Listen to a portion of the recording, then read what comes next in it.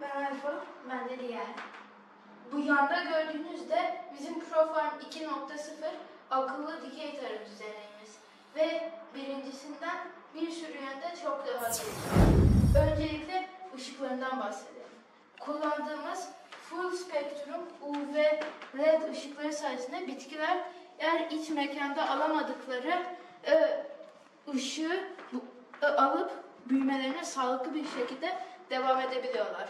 Ayrıca A, Arduino ile e, e, yaptığımız zamanlama sistemi de ışıkların en doğal bir güneş doğuş batış batış döngüsüne mimiklemesini sağlıyor. Ee, ve burada gördüğünüz su deposunda e, içinde iki tane su, e, magnetik su pompası var.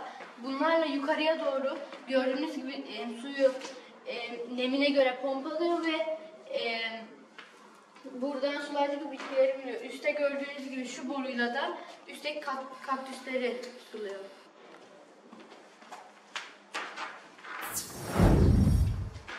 Burada gördüğünüz Arduino düzeneği sayesinde yaptığımız, kodladığımız nem sensörleri şu anda hala kodlama aşamasında. Bitkinin kuru olup olmadığını ve ne zaman sulanması gerektiğini şuradaki potansiyometrelerden ayarlandığında anlayıp ona göre çalıştırabiliyor.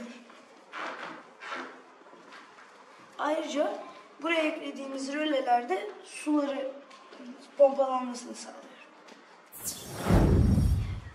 Bu elimde gördüğünüz sıvı seviye sensörü. Bu normal depoda duruyor. Ve depodaki suyun azalıp, azalıp azalmadığını ölçüyor. Eğer su üstüne temas etmezse buzzer, buzzer burada çalıyor ve e, buradaki led yanıyor. Ve o sayede suyun azaldığını anlayabiliyoruz. Şimdi mesela bir örneğini gösterelim. Şu anda nem sensörü hala kodlama aşamasında olduğu için gösteremeyeceğiz ama beklediğimiz etki şu. Açtığımızda gördüğünüz gibi sulama yapabiliyor. Kaktüsler üstler ve kaktüsler burada. O kaktüslerin sulamasıydı. Bu ondan nem ihtiyacına varınca sulanacak. Ve şimdi alfa ha, no, şey arpa ve rokaların da sulama sisteminden bahsedecek.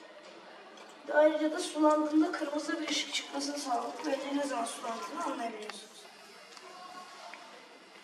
Bizi dinlediğiniz için çok teşekkürler ve görüşürüz.